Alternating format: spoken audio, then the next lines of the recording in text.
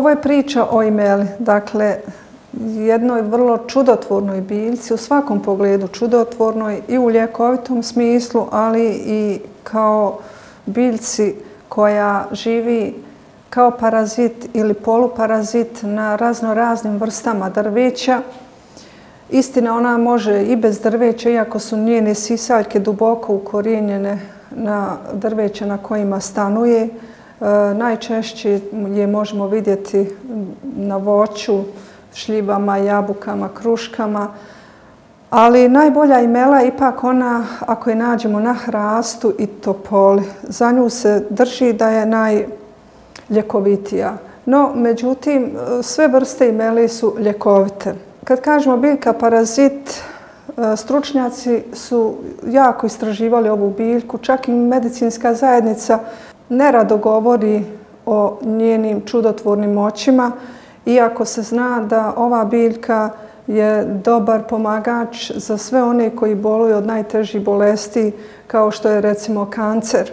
S obzirom da je kancer na neki način uh, uljez u našem organizmu i ponaša se na jedan uh, drugačiji način od onoga kako inače uh, ćelije, zdrave ćelije djeluju po zakonima zdravlja, tako i ova biljka pokazalo se da liječi kancerogena oboljenja između ostalog. Ali ono po čemu je ona od davnina poznata jeste njena ljekovitost kada je u pitanju kardiovaskularni sistem. Ona je prijatelj svih onih koji boluju od problema srca, eh, angine pectoris, problema sa arterijama, povišenog krvnog pritiska, ova biljka je također dobar prijatelj svih onih koji imaju nekakva unutrašnja krvarenja, e, jer se dobro pokazala i protiv hemoroida, unutrašnjih krvarenja, čak i oni koji e, imaju neobično krvarenje iz nosa učestalo. Dakle, imela je dobar i kao detoksikator e, cijelog našeg organizma. Naročito se preporučuje sada u ovo vrijeme da i svi uzmemo, dakle, da bi dali potporu e, svome kardiovaskularnom sistemu i svim našim organima i da bi se pročistili da jedno e, sedam sedmica uzimamo imelu u nekom od ovih oblika. Sada ćemo reći da imelu možete uzimati u vidu hajdemo reći čaja ili ove iscrpne, jer imela se ne pravi na klasičan način kao što pravimo čajeve od drugih biljaka.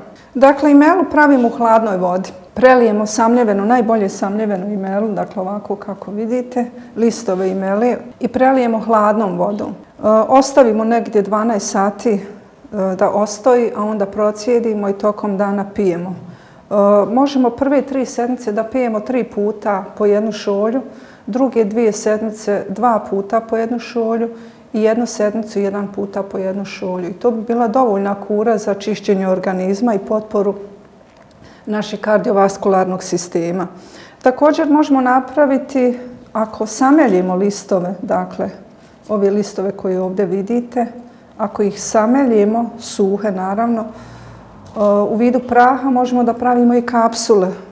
Ove kapsule su uh, jako dobre zato što uh, im je koncentracija jača, tako da, eto, ko voli u vidu kapsula može da na neki način i redovno uzima, vrlo se onako praktične, možete i ponijeti sa sebom da ne zaboravite da uzmete tokom dana dva ili do tri puta po jednu kapsulu.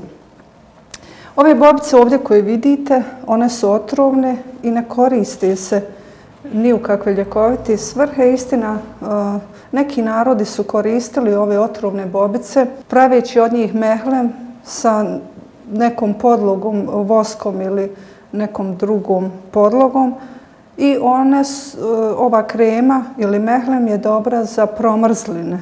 Dakle, na neki način i one su ljekovite, ali s obzirom da su otrovne, ne preporučuje se upotreba za one koji ne znaju. E, imena ili viskom album na latinskom koriste se i listovi ove grančice, možete i koristiti u ljekovite svrhe. Bere se, evo sada je mjesec februar, dakle ovo je mjesec kad možete brati imelu do negdje polovice marta, isto tako u kasnu jesin. Mi kad vidimo da je imela već dobila ove bobice, nije preporučeno brati, dakle beremo je dok nisu bobice prispjele. Mi imamo ove zlatne kapi koje su spoj prije svega imeli, zatim gloga, valerijane i kunice i to je jedan jako dobar narodni recept. Nazvali smo i zlatne kapi zato što su e, isključivo namijenjene za dakle, srčane probleme, povišen krvni pritisak i masnoće u krvi. Znamo da živimo danas tim modernim životom, pogotovo evo sada smo u zimi izaćemo iz zime kada se jede jaka hrana, zasićene masnoće i tako dalje. Idealno bi bilo da se pročistimo, dakle, uzimajući ovakve ili slične preparate. Od imeli možete napraviti izvrsnu tinkturu, dakle sama imela. Po tradicionalnom receptu možete koristiti medicinski alkohol ili bez alkohola, dakle samo s vodom, s tim što će vam takvi biljni kapi morat ćete ih držati u frižderu sedam dana, ne mogu dugo biti. I onda tokom dana možete uzimati dva puta ili tri puta po 20 ovih kapi. jaka je koncentracija, tako da je to isto tako idealno za sve one koji imaju problema srčanih, ali one koji nemaju, koji žele da na neki način preduprijede zdravlje. Još e, jedna važna stavka o imeli.